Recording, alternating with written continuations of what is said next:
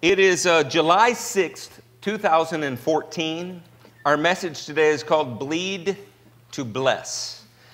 Uh, I am intentionally picking up on a, a gem that Tommy Hudson mined right out of the Word. And if I understand correctly, he, he uh, was also instructed by Andrew Wuest, uh, New Testament Word Studies.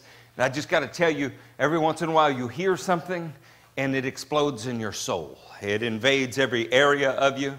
Uh, other times it does that, but it was already there and it just feels good to know men in other times and other places have seen it. There's something affirming because the world is trying to convince us we are crazy.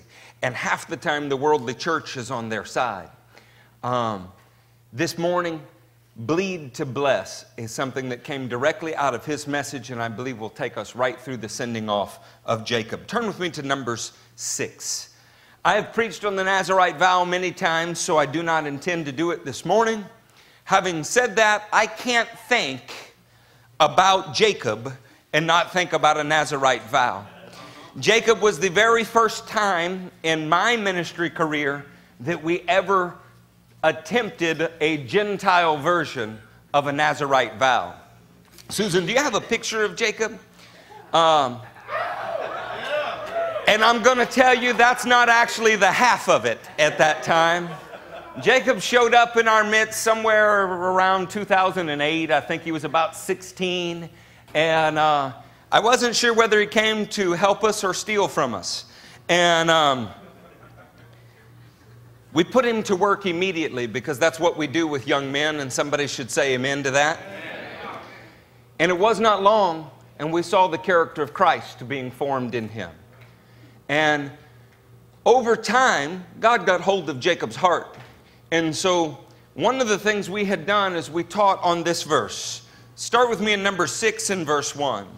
The Lord said to Moses, Speak to the Israelites and say to them, if a man or woman wants to make a special vow, a vow of separation to the Lord as a Nazarite, what kind of vow? A special vow. That Hebrew word is polal. It could be translated so many ways. One of the finest would be extraordinary or miraculous.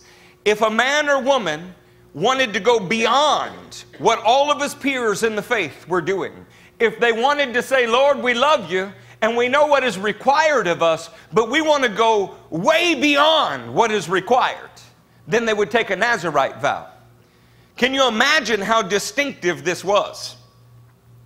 So Jacob is walking around and he's letting it grow. Later, Cody did the same thing, and our neighbors called and warned us that there was a strange man outside of our house.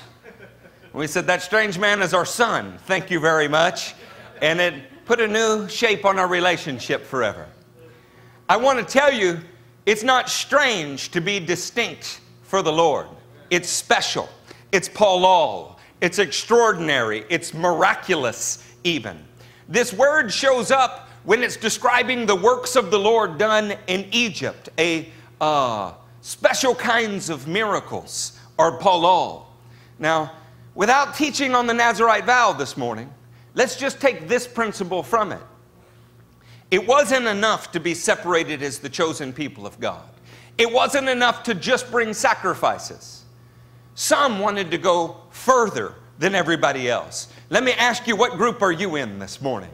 Because I'm proud to say Jacob wanted to go further than everybody else. So, as an example for the church, a sermon example, Cassidy cut his hair in front of the entire church and then we lit it on fire. While the Bible says this is a pleasing aroma, it caused most in the church to throw up. Again, a beautiful sermon example. What our flesh despises is often something God loves. It's God's love that I wanted to talk to you about as we begin today because I want to tell you how we send Jacob off. And not just Jacob, before him, Gabe and Nick, before them, uh, Zeke Lamb, before them, uh, the Dime family. Why we send people off in ministry, why we do what we do, it's because of the love of Christ. Now, that Nazarite vow was special in so many ways. things had to die, things had to bleed. It cost so much money in the ancient world to do this that it'd be the equivalent of selling your house and cars. And then towards the end of the chapter, he says, and anything else you can afford. In other words, the call of God, the love of God, would always cost you all that you have. It's with that idea that I'm going to ask you to pick up in John 13. Say there when you were there. Now, when you get to John 13, slide your finger down to John 13 and verse 34.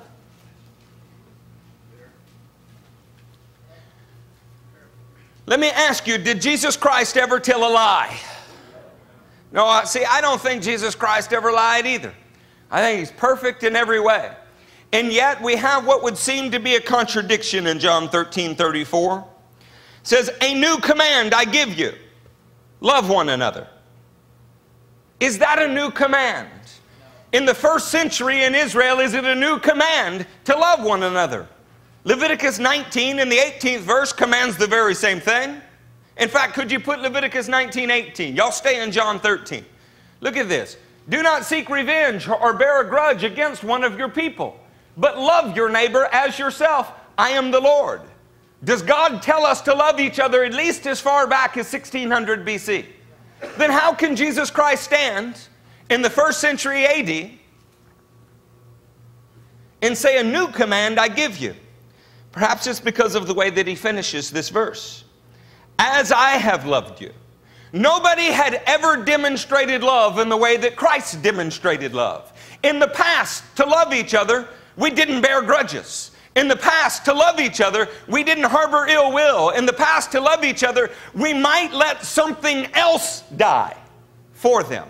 You might give a Passover lamb for some other member in your family. You might give a peace offering to make something right with someone. Something else may have to bleed. But in Christ, we learn a whole new way of love. He is the one who shed his blood to bless us. Now, he didn't say, I've set you an example that you should go talk about. This whole 13th chapter actually begins with the statement to show them the full extent of his love. He goes on to wash their feet. In other words, the full extent of his love, you can find that in John 13 in verse 1. The last part, now he showed them the full extent of his love. Now, full extent is pretty self explanatory in English. This word is telos, it means the point of. This is why he loved them. He loved them to show them how to do something, which was imitate the way that he loved them. He modeled in everything that he did discipleship. And how much did Jesus love us? Enough to bleed for us. Now, many of you are aware, having sat in church many years, that there are a lot of Greek words for love. The one that is appearing here is agape. And it's the same one that shows up in John 3:16. So in John 3:16 when it says for God so loved the world that he gave his one and only son that whoever believes in him shall not perish but have eternal life understand that this agape kind of love doesn't just bleed it gives. It gives. How much do you love someone? You know it's funny if you talk to a teenage boy he loves someone but he loves someone so much that he wants to take from them, not give to them. He loves so much that he wants to own, but he doesn't want to die for.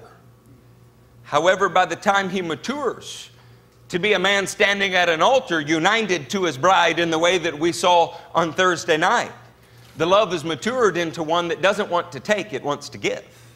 It doesn't want to dominate, it wants to love and support. Christ modeled a love for his followers, and it was a love that bleeds and a love that gives. This is the same word, agape, the same way that it's used in Romans 5 in verse 5. Turn with me there. Say there when you're there. I'm going to wait on the rest of you, so if you're sleeping, you're going to hold up the service. And don't be scared, but it is a small room. I will come find you. And hope does not disappoint us because God has poured out His love, His agape, into our hearts by the Holy Spirit, whom He has given us. Understand that the love we're talking about now is not a love that you find in lost people. It's simply not there. It has to be given as a gift of the Holy Spirit. And as we move on to the next verse, you see at just the right time, when we were still powerless, Christ died for the ungodly. What does this love do? This love looks past the person's condition as it stands now and gives all it can to make sure that their condition is changed. That's an amazing thing, isn't it? The kind of love that we want to send Jacob off is a sacrificial love, the kind that is willing to bleed that he might benefit. Do you believe that Submission Ministries will benefit from having a young man there on fire for the Lord. I got to tell you, as a pastor, it's not such an easy thing to watch him grow from 16 to 22? 23. 23. And then give them away. When they show up, they often don't know all they're supposed to know. That's why God brought them. He brings to you people that you get to love and demonstrate love for and model it and model it and model it. And very often, just like you raising your children, they don't understand what you're doing for them. And about the time that they do get it and they begin to imitate it, the Holy Spirit decides that He wants to plant them somewhere else. Is there nobody that can feel our pain here this morning? Jacob is evangelizing at work. He's a witness to his boss, a witness to his friends. Jacob gives to the ministry generously. Jacob, in every way, works hard and serves. This is a model of what a young man is supposed to be in ministry. And it's not so easy to give a goat away. It's hard to give away a sheep that you love. And the reason that we do it is because it's exactly what Christ would do. Turn with me to Corinthians, the 13th chapter. People hang this on their wall, and I loved what Brother Tommy said about it. Said, you know, one of the problems with Corinthians 13 is that we have accepted it as an exclusion for the gifts. We've accepted the idea that we could love as opposed to eagerly desire the gifts, and they were actually meant to complement each other. It was not an either or, Pastor Sutherland, it was an and and both. What a great message if you'd like to hear that sometime. I would submit to you today that the God kind of love cannot be displayed outside of the moving of the spiritual gifts. It is, in and of itself, a deposit from God. Look at this 13th chapter and pick up with me in verse 5. Say there when you were there. Speaking of what love is not, it is not rude and it is not. If it's not self seeking, then it must be self sacrificing. How about this? By the time you get to the verse 7, what does it say? It speaks of always protects, always trusts, always hopes, always perseveres. Now, many of the husbands in the room can say, oh, yeah, always protect. But can you say always trust? See, it's a very, very hard thing to take anybody that you're responsible for. Eric just did it with a son. Some of you have done it with your daughters and trust that outside of your care, God is going to take care of them. Right? But love always trusts because it is always sacrificial. It is never self seeking. When speaking with a young minister here recently, he said, I just think that I would die if so and so left our church and came to that church. So, well, then you need to answer the question, young man. Do you have their best interest in mind or your best interest in mind? It stopped him in his tracks. He's had trouble thinking about it to this day. He said he'd get back to me on it. I will get back with him. We want God's will above every other. Can y'all say amen to that? Amen. This is what Brother Wuest said about the agape kind of love. It is, in its essence, a self sacrificial love a love that puts aside self in an effort to help and to bless others. Yes, a love that goes to the point of suffering if that is necessary to, in order to bless others. If you ever want to see what that looks like, Find somebody who gives their daughter away at a wedding that has labored to make sure she's pure before the Lord, has labored to make sure she's in love with the Lord, has labored day and night to make sure that she's a bride worth having. And you will know what kind of love this is. And for the highest kind of blessing, suffering is necessary. For we must bleed if we would bless. This is the love of God, not love for God, but the love which God is and which He provides through the operation of the Holy Spirit as a believer depends upon His ministry. Our hope, our endeavor, is that we would stretch out and see lives changed through a sacrificial demonstration of the gospel. That that life would grow to a place where it becomes part of a family and maybe even spawns its own family and then they turn outwards to the nations. The day that we stop desiring to send people outward, we become stagnant and we cease to have a reason to exist because it is not God's kind of love. For that reason, it's appropriate to call LCMF a missions church. It's appropriate to call LCMF an evangelical church. It's appropriate to call us crazy if you want, but I want to ask if you be in God's love, can there really be any other kind of church? When you look at Romans 12, in verse 9, we are given a command. This command is love must be sincere. I've heard many fine teachings on this word sincere. Uh, you may have heard that its etymology comes from sincere, meaning without wax, that it was an ancient Latin term. Of course, there is a word that lies beneath the English word sincere. And when we're thinking about that, thinking about the original language in which this is written in, it's important to understand that we're not talking about wax, we're not talking about pottery, we're not talking about that at all.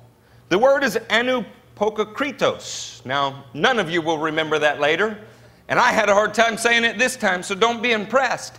It literally means without hypocrisy. Your love must not be a counterfeit. It actually speaks of an ancient world where if someone is judging from underneath a mask, you cannot trust the judgment because you don't know who it is that is giving it. In other words, it's an unmasked, unveiled kind of love. In other words, one with no hidden motives. When we say love must be sincere, I want to tell you that we should state plainly what our intentions are towards each other. We should then make sure that our intentions have the other person's best interest in mind, even when it causes us to bleed. Can somebody in the house of God say amen? amen? Here is an example of a way in which Jesus said it. In John 14 and verse 29, I have told you now before it happens, so that when it does happen, you will believe. Is that plain speech? Could you say that there was anything hidden in his motives here? I will not speak with you much longer, for the prince of this world is coming. Is that plain speech? He has no hold on me. But the world must learn that I love the Father and that I do exactly what my Father has commanded me. Come now, let us leave. I would like to encourage you before we leave this part of the message about why we do what we do to consider this the King of Kings put himself in a position to be attacked for the purpose of explaining what a sacrificial love is. And he said plainly beforehand what was going to happen and what the result of it would be. People learn that you love the Father when you look beyond your interest and look towards the interest of someone else. How many of you have been concerned about your calling? And if you lie, I'm going to call you out. So we better get some hands up in this room. There is a shifting place in every man's life, though, and it usually starts when you are having children. When you're no longer just concerned about your calling, you're concerned about theirs. And like a balancing scale that is at one time way out of proportion, it comes to a place of equilibrium in the middle of your life and then tilts heavily towards the child. And if that doesn't happen, then you are not walking in God's kind of love. At first, you dream of what you can accomplish for the Lord. Later on, you dream of what you can do together for the Lord. By the end of your life, you ought to be dreaming about them passing you up in the Lord in every possible way, or it's not God's love. Let me ask you did Brother Hudson not read to us out of the Gospel of John, You will do greater things than these?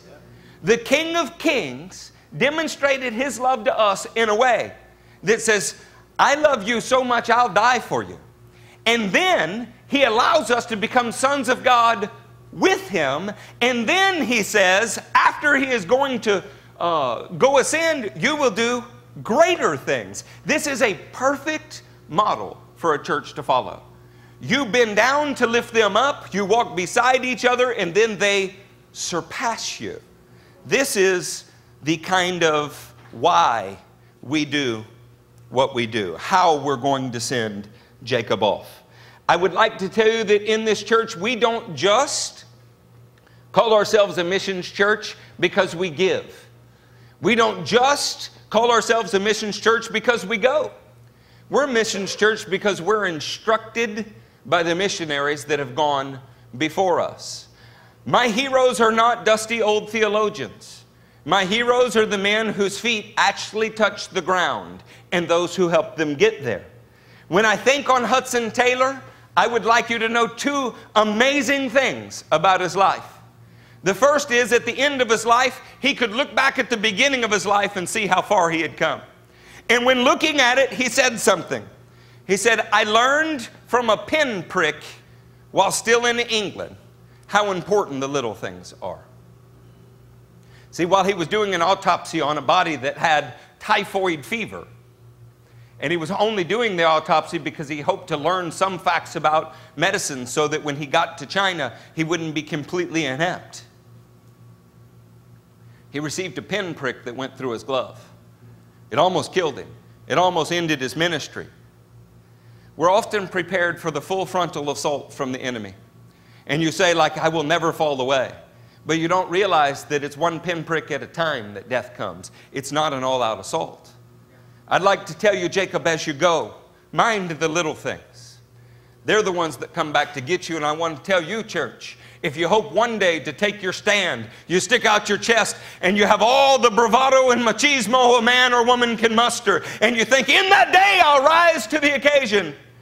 If you don't face the little pinpricks that are trying to kill you now, you will never rise to the occasion in that day. Secondly, from Hudson Taylor, I would like to remind you of another biblical principle.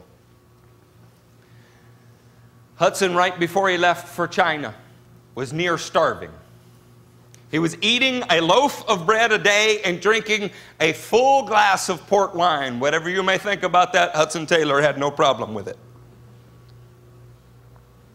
That's what he had for food every day. He rationed it out to one loaf of bread and one glass of port wine a day. Any of you feeling guilty about what you ate on 4th of July at this point? He did that for two reasons. One is he was trying to save money because the gospel never goes forward without sacrifice. And the second is he had already given all he had and there was literally nothing left. It was in that condition he had what the United Kingdom called a half crown at the time. And while ministering to someone, the verse in James came to him. If you walk away and say, Be warm and well fed, and do nothing about their physical needs, what good is that? And he realized that the Lord wanted him to give away his half crown. He choked on it, it hurt him. But then we have to bleed to bless, don't we? He thought for a moment how he might make change, but there was no smaller denomination available. He thought for a moment if he could maybe loan them the half crown. And then he came to the sacrifice and he gave them his half crown. Hudson Taylor, at the end of his life, said, The cost is always a half crown. You ask me how? He'd given away millions of pounds later. How could a half of a crown, equivalent to a quarter, how could it, the cost always be a quarter? The cost was not the half crown, the cost is always what you have. It will always cost you what you have. I want to tell you in this ministry, there is not a single thing that we value more than those for whom we see Christ being formed in. I would sooner be, it would be easier for me to give away $50,000 than it is for me to watch a life thoroughly inundated with the gospel and equipped for every good work walk out the door. And yet, that's the price and that's the cost. So, Eric, you can only say that because you don't have $50,000. We have neither.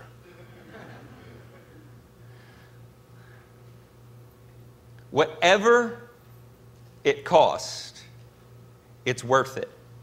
Because what we have observed in our earliest disciples that have since gone out is they are making disciples, and the king is getting his increase.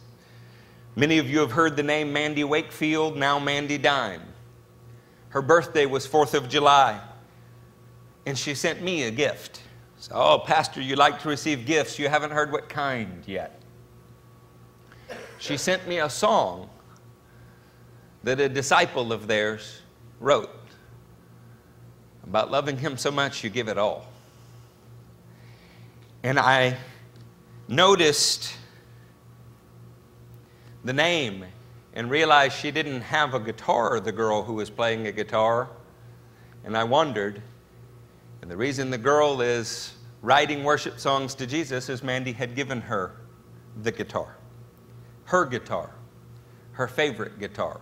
The one we watched her save for months to buy and her proudest possession during the time she was here. And this is how the gospel rolls forward. Say, well, Pastor, there's a lot of people that are doing it without bleeding.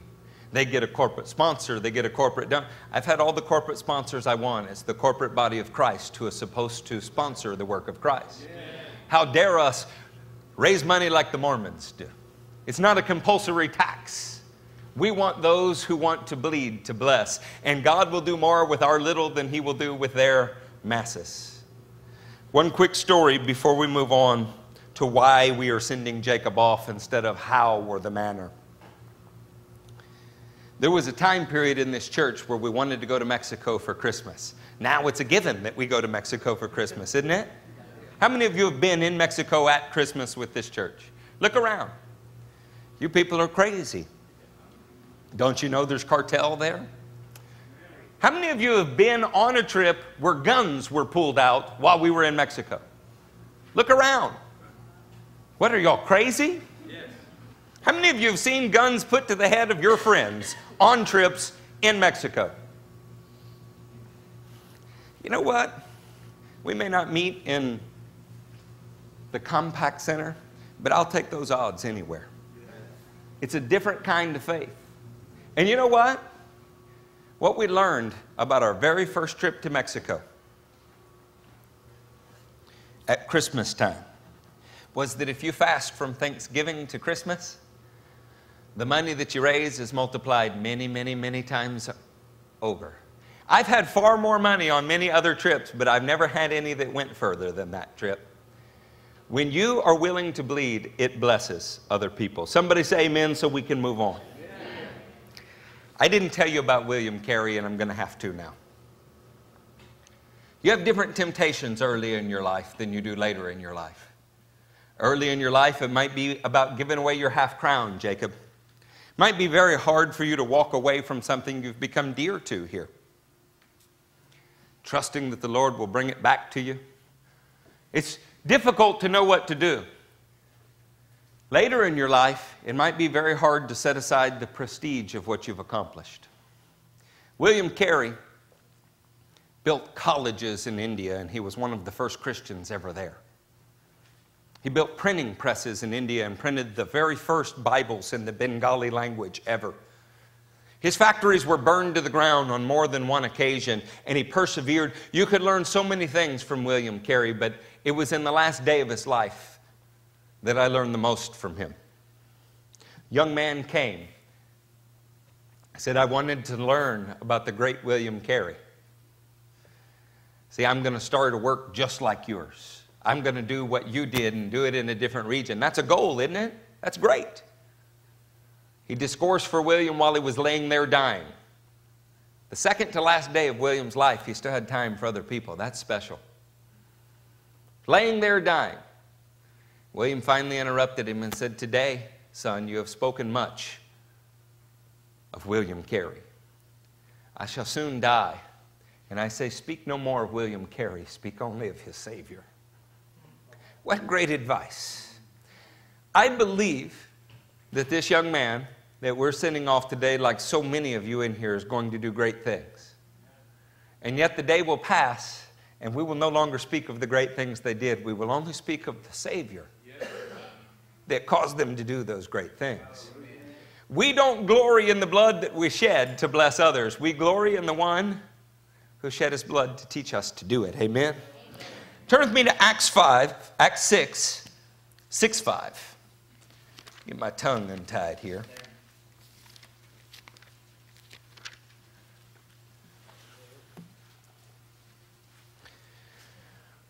We send off Jacob because it's what the Lord has instructed us to do. Why we send off Jacob in particular? Well, we can find these attributes in the sixth chapter of Acts in verse 5. The proposal pleased the whole group. They chose Stephen, a man full of faith and of the Holy Spirit, also Philip, Procorus, Nicanor, Timon, Parmenius, and Nicholas from Antioch, a convert to Judaism. They presented these men to the apostles who prayed and laid their hands on them. So the word of God spread. The number of disciples in Jerusalem increased rapidly, and a large number of priests became obedient to the faith. What an interesting thing. This is widely renowned as the choosing of the seven, the seven considered to be deacons or servants in the early church. And when we think of these men, Stephen becomes the first martyr, Philip becomes a great evangelist. You have to ask yourself what was the requirement? There were two to be full of faith and to be full of the Holy Spirit. It's not enough to be full of faith because you won't have the power to carry it out. It's not enough to simply say that you're full of the Spirit. A man can be led by many things. How would you know it's the right spirit? We worship in spirit and truth. We're full of faith and full of the Holy Spirit. What kind of circumstances did these men get appointed to their high position? A time of trouble in the church. What was the trouble? Is the same trouble that's in every church. Some in the church thought they were being overlooked, and others were being blessed. There was the beginning of a schism in the church. You remember what it was? Some were Hebraic speaking Jews, and their widows were being taken care of, but the Greek speaking Jews thought that their widows were not being looked after. One of the things that I love about the picking of Philip here, the very reason he was despised is the reason that he was picked. Follow me here. The Greeks were looked down on because they were not authentically Hebraic. So those who grew up in Israel saw themselves as better. Those who grew up in Jerusalem knew they were better. And the Greek speaking, compromising Jews were a faction that was looked down upon. So the problem had a solution. The very one who was despised, if he's filled with the Holy Ghost and filled with faith, would be the answer to the problem. So when you find a 16 year old wandering around on the street at night, he may look like the problem, and he is, in fact, the answer to the problem. Because when Jesus fills him with faith and fills him with the Holy Ghost, the world begins to take notice. Maybe we've looked, and Jacob is certainly pretty, but maybe we've looked for the pretty ones too hard. Maybe the athletes and the well spoken is not quite what God is after.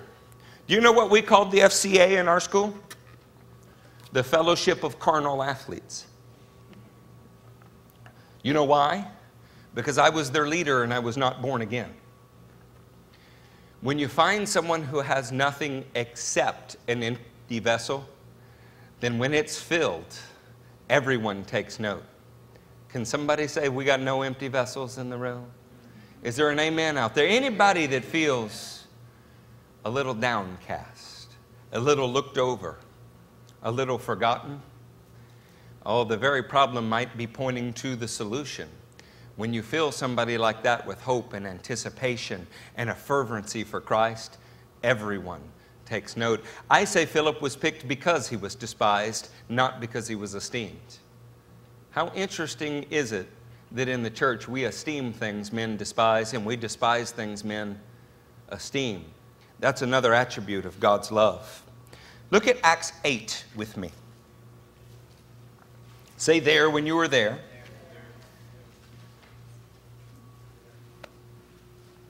In Acts 8, let's pick up in the first verse.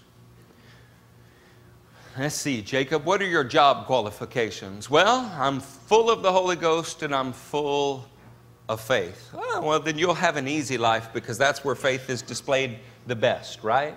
Just the land of blessings. This is what the pimps on TV are telling everyone. The truth is, faith is displayed the best in the midst of adversity. In the eighth chapter and first verse, and Saul was there giving approval to his death, speaking of Stephen the friend of Philip.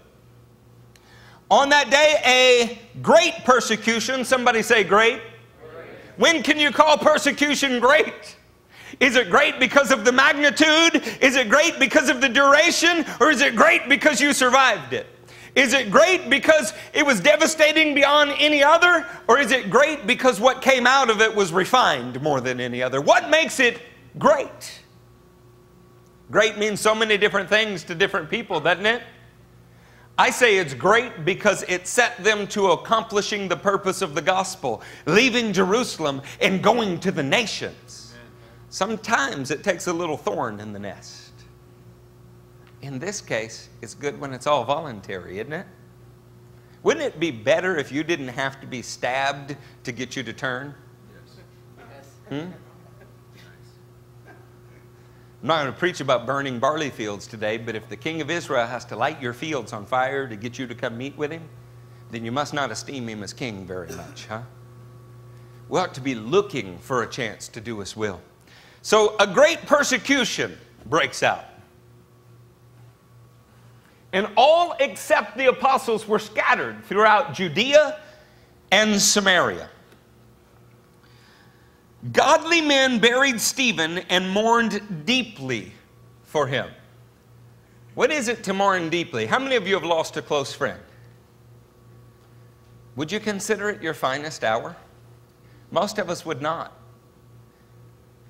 See, those who are full of faith, those who are full of the Holy Spirit, we're called to the hour that is usually not men's finest hour. It's when our friends die and things are going wrong that we rise to the occasion.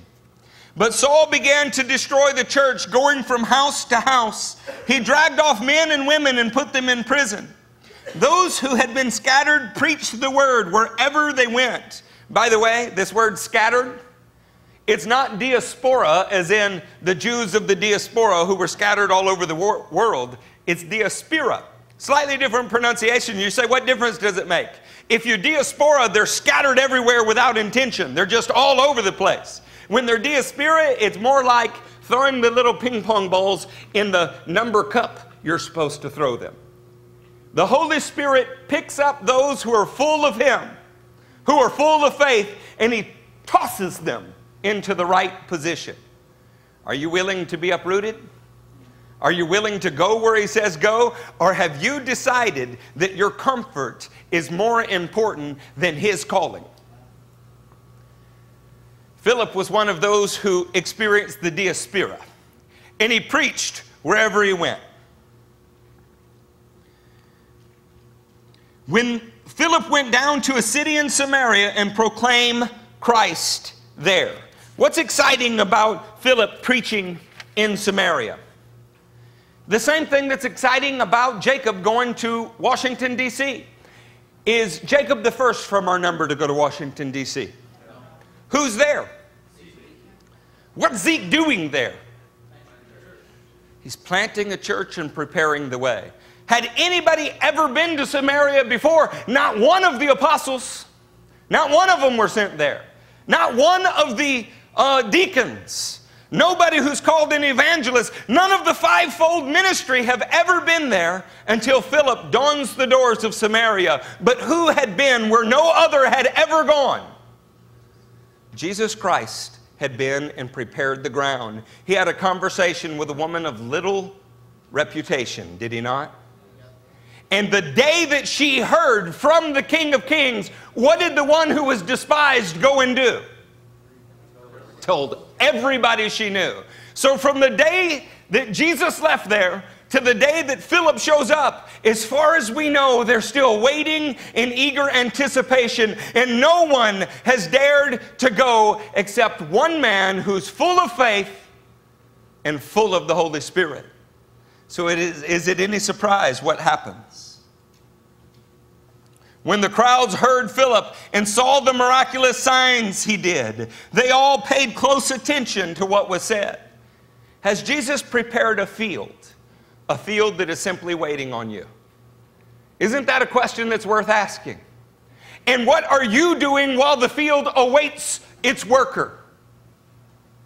See, if we're praying, if we're softening the ground, if we're raising up whatever Nazarite vow it might take to support the work there, then we can be sure when we get there, Jesus will have fulfilled his end.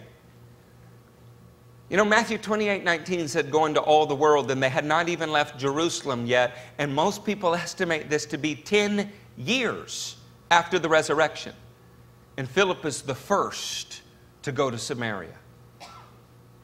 Somebody who was picked because he was a Greek speaking Jew and not a Hebrew speaking Jew. Somebody picked with the high task in mind of handing out bread. This is one of the things that I love about the young men in our church. We work them, we work them hard. And, so man, it's almost like slave labor force. No young men say amen? What are y'all doing? You just working hard. We believe that while they learn to hand out bread, they will learn to hand out heavenly bread. While they develop a work ethic in this room, and a work ethic on every moving crew that has blessed nearly every family in this church, on every cleaning crew that blesses us all twice a week. They learn what it is to labor before the Lord, and He meets them in that labor. They preached everywhere they went. Now, Philip is preaching in the field that Christ himself prepared. Why had no one been to Samaria?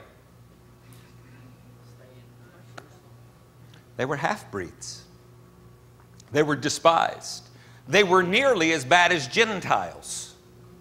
If in case you're wondering, that's you people. No one went because why would you go?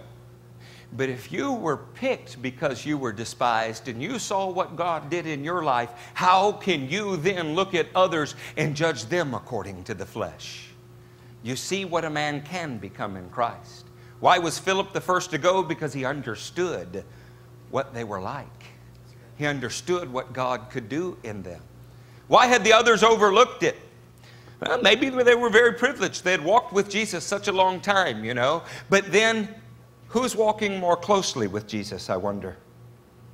When Philip gets there, what does he do? It's in the next verse. There it is. Okay. With shrieks, evil spirits came out of many, and many paralytics and cripples were healed. You know, the seventh verse of the eighth chapter reminds me of the seventh verse of Matthew 10.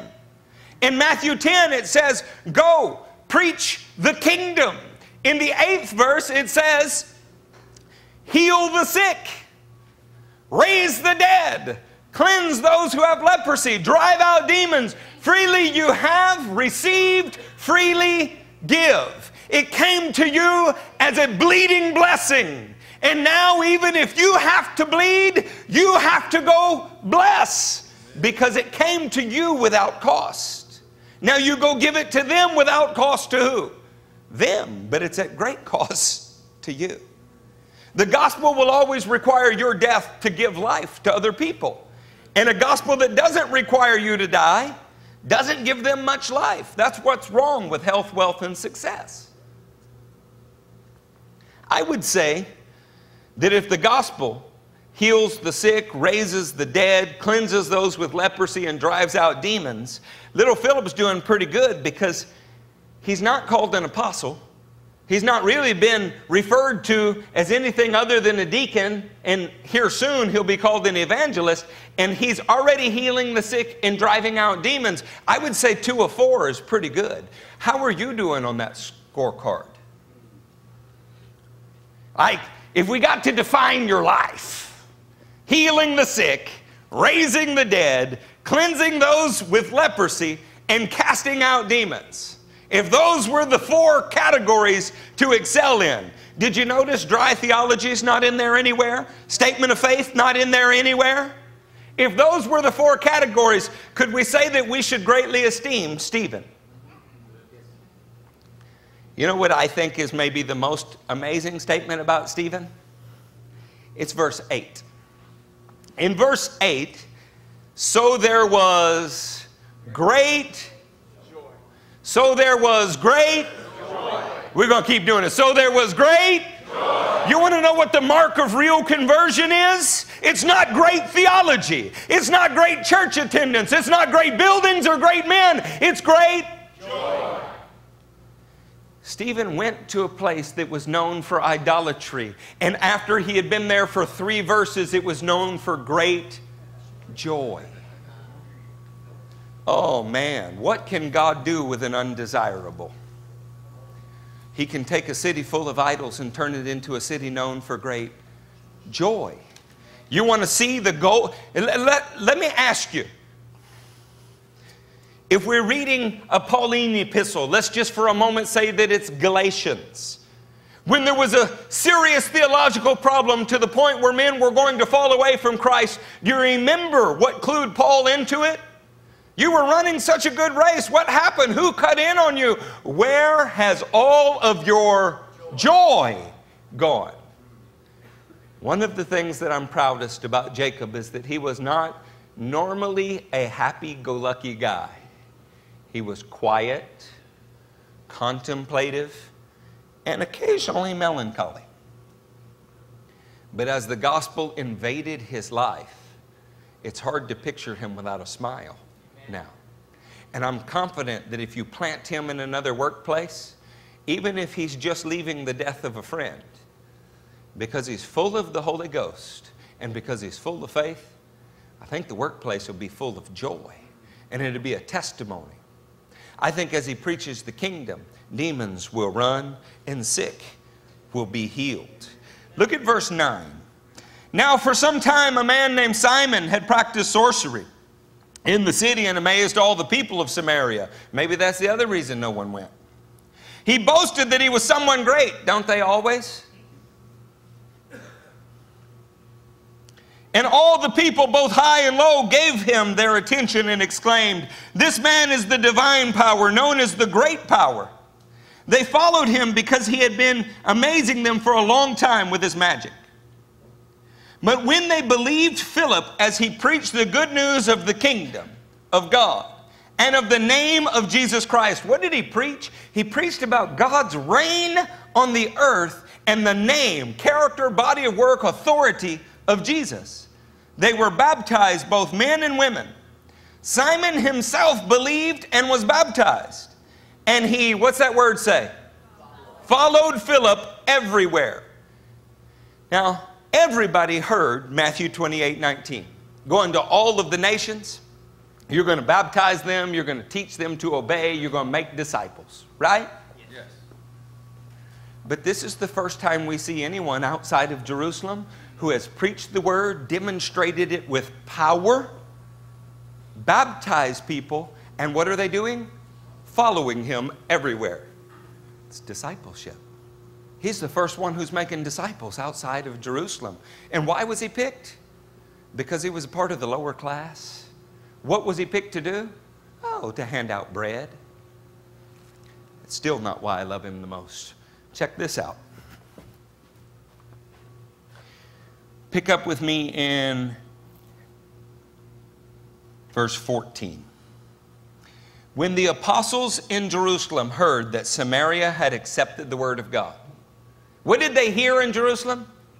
The work's already done. What did they hear in Jerusalem?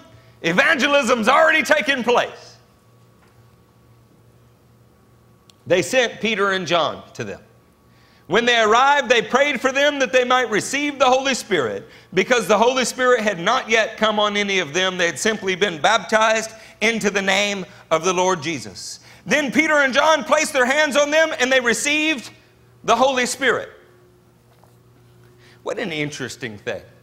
We have apostles coming all the way from Jerusalem to invade the work that Philip is doing. Was Philip inadequate? He's the first to go to Samaria. He's the first to see miracles accompany his preaching outside of Jerusalem. He's the first to baptize people in the name of Jesus outside of Jerusalem. And they're not yet filled with the Holy Ghost. I think Philip was smart enough to leave room for his brothers in his work. And I don't see a hint of competition between him and the apostles. It doesn't say they showed up and threw him out, and it doesn't say he protested. If you've worked hard for something and somebody else comes in right just to run the ball across the finish line, how do you feel? See, but then Philip was probably just graciously happy that he was chosen to hand out bread. Think of where he started. He was happy for what the Lord had accomplished through him, not jealous of what the Lord didn't let him do and gave to someone else to do. Come on, church, tell me that's not a preachable word. See, we're all called to do something. But knowing where the calling begins and ends and leaves room for your brothers, that takes serious maturity. We live in the land of the one man show. We're not called out in pairs of two anymore. When we plant churches, we put one big name on the sign. It's about a great man, a great building, and a great day for a great fee. And it's sickening. We ought to know what it is we're called to do, and we ought to invite others to come do the very thing that we're short in. We ought to know where the limits of our ministry are and invite others that complement what we're doing. Amen. Jacob is not going to win Washington, D.C. by himself. He couldn't, he shouldn't, and he wouldn't.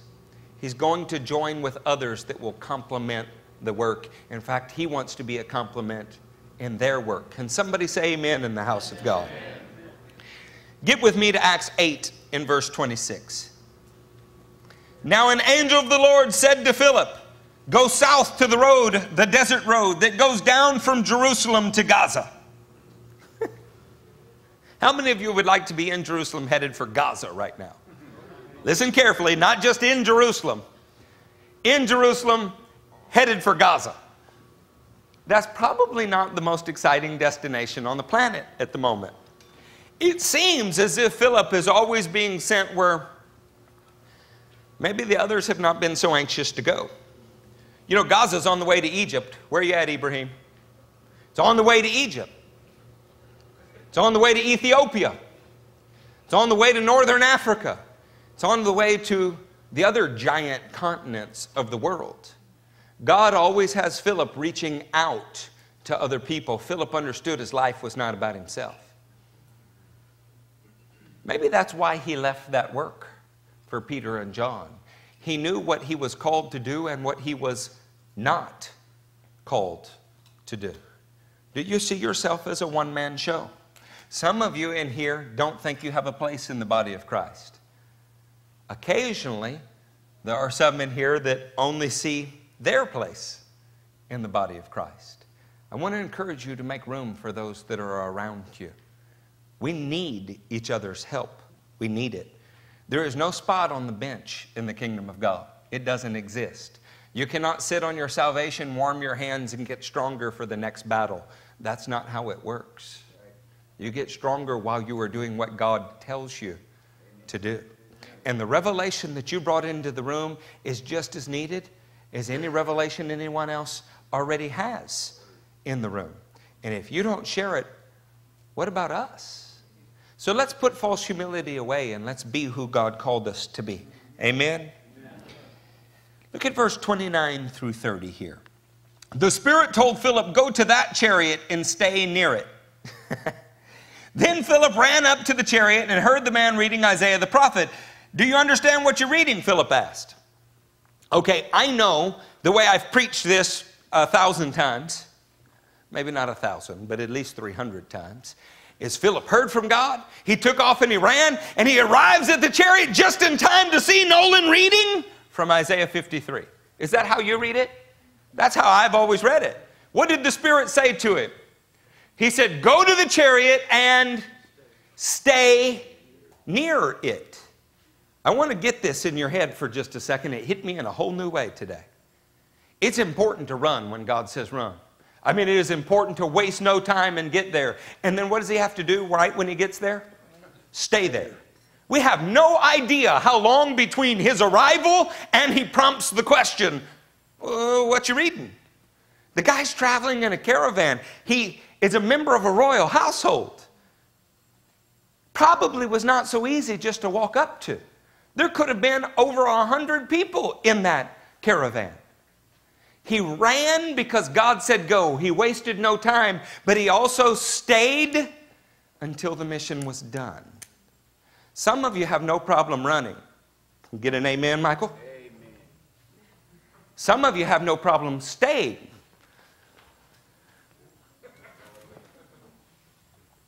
Can you run when God says run and stay when He says stay? And appreciate the difference between them. One of the things that I love in Jacob, Jacob had trouble learning to run immediately, but then he mastered it. He started doing what God said when He said do it, and he had a very needed component staying power. He didn't just run and then give up when it got hard. You know, I've noticed that a lot of those that came in around the time he came in, they never stuck to anything in their lives. Still haven't. They came in, they got blessed, and they took off. Jacob ran to the presence of God and then stayed in the presence of God. So, consequently, his life is not going to look like a roller coaster. It's going to look like a steady spiritual incline. We need to learn to run when God says run, but stay when He says stay until the job's done. You can get addicted to running. It doesn't look like I've ever been addicted to running, but I have. You know, this great thing happens when you run. There's a release of endorphins. After about the third mile, you go into what's called a runner's numb. And it's a little bit like a high. By the fifth or sixth mile, it can really be glorious. There were times in my life I was running five and six miles every day. It was harder not to run than it was to run because then it was harder not to run than it was to run because my body craved it. My digestive system didn't work when I didn't run. I wasn't hungry. Nothing worked right unless I was running. And some Christians are like that. What is the Lord saying to you now? What is the Lord saying to you now? What is the Lord saying to you now? And it sounds spiritual enough, but they never complete the race. Are you hearing me? For us, the direction is only forward. We run to the spot He says go to, and we stay there until the work is done. I know that when we send Jacob to Washington, D.C., Jacob won't get a new vision inside of 30 days and leave.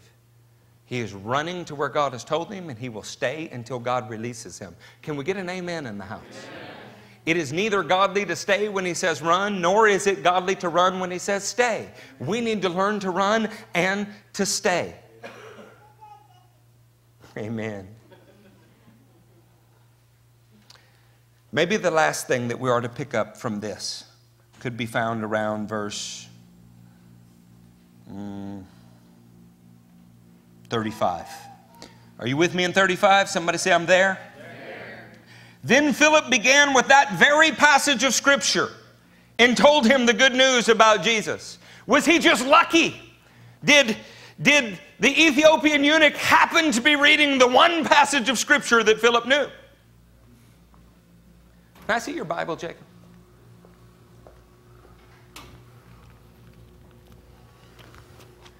So if I pick up your Bible and I walked up here with it, would I find a single verse that had been cried over, poured over?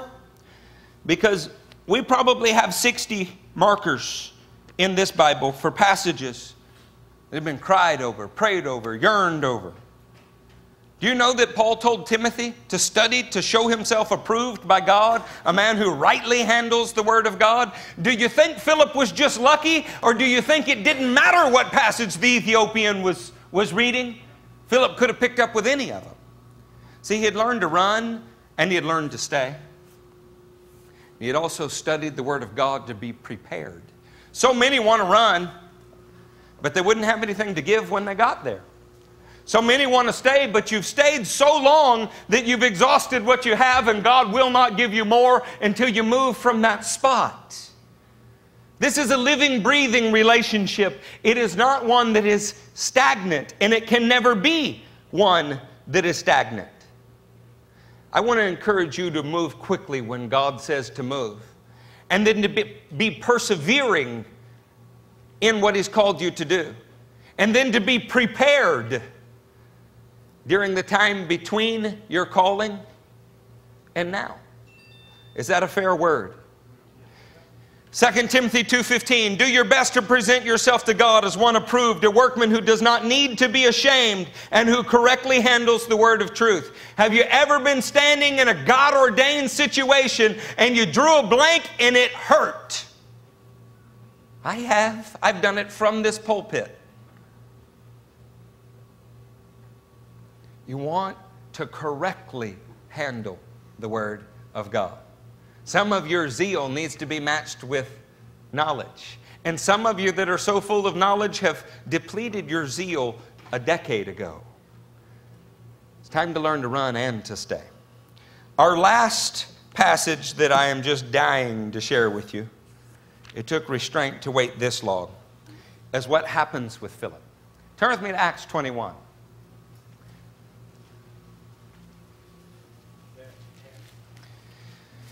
In Acts 21, pick up with me in verse 8. Are you with me? Yes. A few of you. Are you with me? Yes. In the back, are you with me? Sama, are you with me? Speak. Speak, Sama. You can say it in Arabic. He's with me.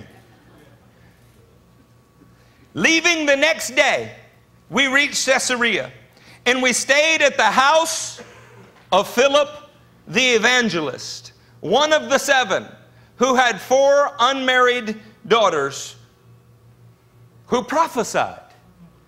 God has seen Philip's diligence handing out bread. And because he handed out natural provision and did it with a godly heart, full of the Holy Spirit and full of faith, even when it was bread, God sent him as the first evangelist to Samaria. And because he not only saw conversions but discipled them, and then transitioned the work to his brothers who needed the help. They needed to be able to help him because he left room for them. The Spirit of God picked him up and sent him to an entirely new city to do it again. And I bet when that was over, he did it again.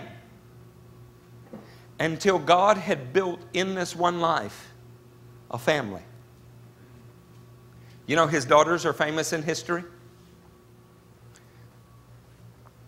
Philip and his unmarried daughters and his wife are supposed to have been killed outside of Hierapolis after having preached for many years in Caesarea. The story of their death inspired the first century Christians. There was a gate to a man named Domitian. And it said, All who pass under this gate acknowledge that Domitian is both Lord and God. And one day Philip was walking under it and he stopped. And he was so full of the Holy Spirit and so full of faith that his spirit simply said, I can't, I can't walk as everybody else walks. I can't go under this gate like everyone else. I know everybody's passing under it and they don't really believe it, but I can't do it. And they crucified Philip on the gate. Well, he encouraged his family to stay true to the faith. See, Philip, Philip had somebody bleed to bless him. And he was willing to bleed to bless others. So God gave him a family and showed them how. It starts with one family, friends, and then it moves, I'm sorry, it starts with one man and then it moves to one family. You know who the first person to pave the way to reach the nations was in all of the Gospels when it comes down to it? It's none of the apostles. It was Philip, the deacon turned evangelist, because he's the first one that started the process of going. I love these undesirable men. There's something we could know for sure. If you've ever read verses 10 through, say, 15, you find out that Agabus, who is a prophet, shows up, and Agabus and Luke and Timothy and Silas all have a spirit filled prayer meeting at Philip's house.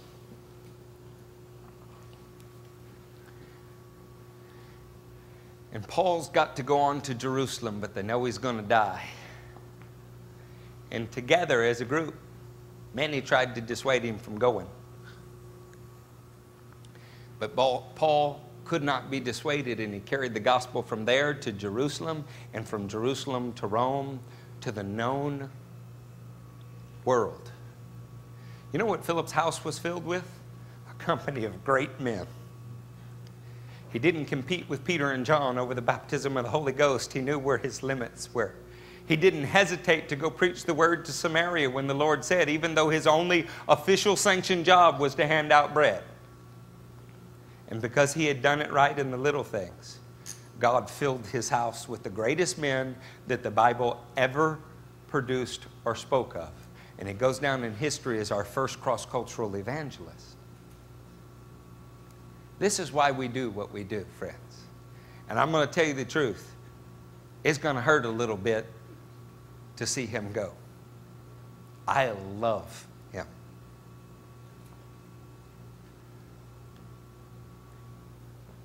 And I love Zeke.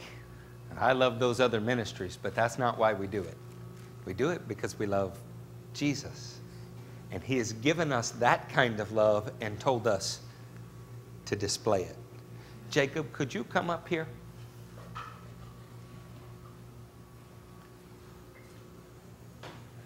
Could we have the elders come up here? I asked the elders if they would share a word with Jacob. Jacob has got family. He's got a mama. He's got brothers. He's got a sister, and he loves them all very much. But God brought him into the family of God in a different way for us. He's lived in our houses. He's uh, become like a son or a brother to us. And I wanted them to be able to share with him. Amen. Somebody gave me the microphone first, so I guess I'll be the first. I want to tell a quick Jacob story. Uh, I'm a mariner, and in the United States, it goes from Alaska down to the west coast, the Gulf Coast, the East Coast. There's a couple of hundred thousand of us. We're very weird people. We'll go out to where there's no land. In very rough places, we're very independent, self motivated. You have to be different to go do that. It's not something everybody wants to do.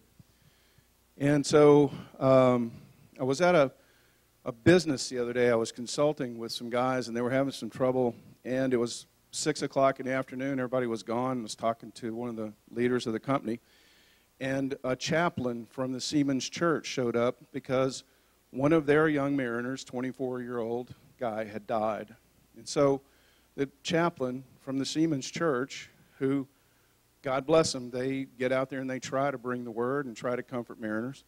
Had come to this business and they were going to flag a, fly a flag on the company's flagpole and then give it to the parents of the, the young man who had died as a service, as a memorial. So we're sitting there talking. And he said, uh, I said, so, so how's that, how's that working out? It's a pretty tough job being the chaplain for mariners, right? He says, yeah, you know, it's really hard for these young people. I said, Man, I know it is. We had a young guy showed up at our church one day and started helping. Um, then he decided his family was moving and he decided he wanted to stay, so he stayed with us for a while. And after a while, he came to me and he said, What is it that you do? You know, what do you do? I told him what I did. He said, I want to do that. I said, Okay, here's the deal. I'll give you a good recommendation. You go and you do what they say if you get the job, but you put in two years at it and you do everything they tell you to do perfectly, or you and me are going to have some problems. And so the young man said, okay. And he went and did it, joined a company up in Vicksburg, Mississippi. They loved him. He did a great job. And two years later, he came to me and he said, I have a problem. I said, What's the problem? He said, I have to quit. I said, Well, that's a problem because the people where you work really like you a lot. They're, they, got, they tell me all the time they got big plans for you, they love you. He said, Yeah, but I can't keep my salvation working on this boat. There's pornography, there's language, there's all this stuff. I can't keep my salvation. And the pastor looked at me and said, Was his name Jacob? I said, As a matter of fact, yes, it is. Jacob had already had that conversation with the chaplain walking down the levee in Vicksburg, Mississippi. They talked about how hard it is for a young man with Christian conviction to work in an area where it's just filled with things that'll tear you apart. His witness was strong where he went. He kept his word where Amen. he went. Amen. The people in the industry knew his witness. He kept his word and he kept his witness. He did what he said he would do. He stood where he should stand, and his witness is still out there. I want to, before we commit Jacob to his new journey, I want to say how proud I am of him. Amen. Because he stood as a man should stand. He did what a Christian man does. And now he's even doing something bigger. Yeah. He's going down the road. He's going to knock some giants in the head. He's got a sling full of rocks out there, somewhere in that truck out there. Jacob, did you achieve the license for tankerman? Was that about as much money as you had ever made in your life?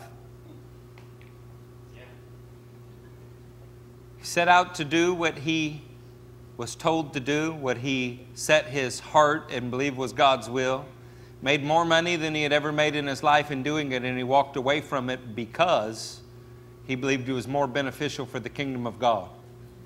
Is that uh, learning to bleed to bless? Amen. Amen. I'd like to mention three types of people.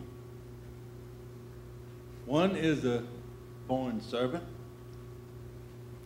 one is a born leader, and the other is one who thinks he was born a leader. we all know some of those, right?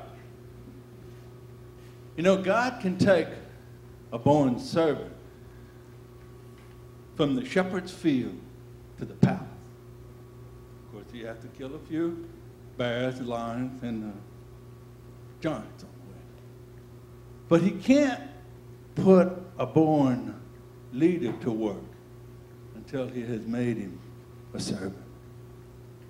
And we see that with Paul and Moses and even Joseph. God made them a servant before he could use them. But we all know, and those of us that know Jacob, is born a servant. Amen. And, uh, you know, he, he, he loves to serve and help people. Sometimes that's gotten him in trouble. Sometimes when he makes a commitment to, to help someone and serve someone, someone else comes right along, and he's just because he's there, oh, I want to help him. Got him in trouble a few times. But you know, he's learned and he overcome some things. And God speaks to this young man and giving him some profound uh, words from time to time. And, and I kind of chuckle at some of these things. I said, go, boy. Like, he says, uh, I can't remember very many of them, but one is that Everyone says they want to raise the dead, but nobody wants to walk in the graveyard. Huh? That's profound. God's given them words. And if we look in the first song, the uh, first verse. Blessed is the man who does not walk in the counsel of the wicked, or stand in the way of the sinner, or sit in the seat of the mockers. But his delight is in the law of the Lord. And on his law he meditates day and night.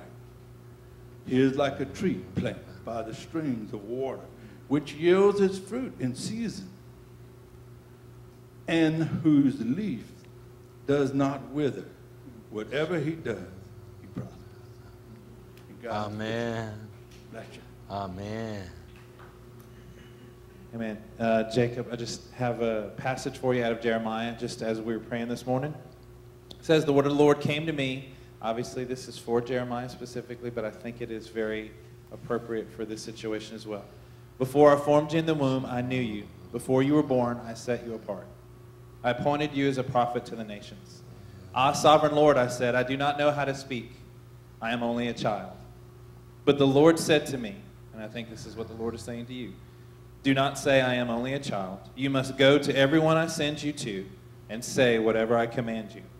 Do not be afraid of them, for I am with you and will rescue you, declares the Lord. It says, Then the Lord reached out his hand and touched my mouth and said to me, Now I have put my words in your mouth. And I believe that your time here at this church has literally been the fulfillment of this passage. Don't be afraid of what you're going to say. Don't be afraid of where you're going. It's literally that God has reached out and He's touched your mouth. Amen. And He has put His words within you. You will be incredibly successful because his, He's directing you, He's instructing you, and you're simply obeying. Amen. The pressure and the weight of this is really on the Lord, it's not on you. Amen. Your pressure here is to just be obedient, to be full of faith, and to be full of the Holy Spirit. Amen.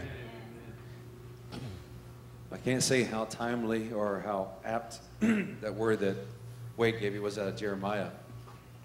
Do you remember when the first trip that you made to Mexico? And we traveled out to the islands, right? So we tell everyone when we travel to Mexico, be prepared to have a testimony, a word to share. We're going there to contribute spiritual food in addition to natural food. So everyone, you know, they're riding in the boat and enjoying the scenery, but you can see there's, you know, this stone cold look on Jacob's face. And at first I'm thinking, well, surely he knows how to swim. But that wasn't it. Jacob was concerned about the words that would come out of his mouth. And he was contemplating what that testimony would be. And if there could be an awkward moment, it soon came when we got off that boat. So we get in front of uh, about 20 villagers there on the islands of Mexico. And uh, a guy that's with us said, Hey, Jacob, you have a testimony to share. We'll translate. Jacob, you got something? Uh, oh, how this man has grown since that time forward. Amen? Amen. But from the first day that he walked into our church, actually, I think, near midnight, and I, I thought the recession had been so bad that the comedian Carrot Top was now looking for work. And Jacob walked through those doors, and uh, I was one of the first couple ones. There it is, right there. There it is. Jacob walked through those doors, and truly that statement that God founded this ministry on, changing one life at a time, jumped right in front of us at that moment. Here's an opportunity to apply the gospel and see one life changed. And where God has brought you to today, I found something. First Chronicles 12, starting in verse 22. Day after day, men came to help David until he had a great army, like the army of God. Further down, he describes the tribe of Zebulun. Men of Zebulun, experienced soldiers prepared for battle with every type of weapon to help David with undivided loyalty. This is who you are. What God did by bringing you through those doors originally was to prepare you for battle with every type of weapon. But what allowed us to contribute that to your heart was an undivided loyalty. All these were fighting men who volunteered to serve in the ranks. They came to Hebron fully determined to make David king of over all Israel. Amen. So we're going to send you out to join the family of God that exists where Zeke is. And we can see in your heart and your life and can bear witness that you're prepared for battle and that you're fully determined. So, brother, we bless you. We thank you for being a blessing to us. Amen. Amen.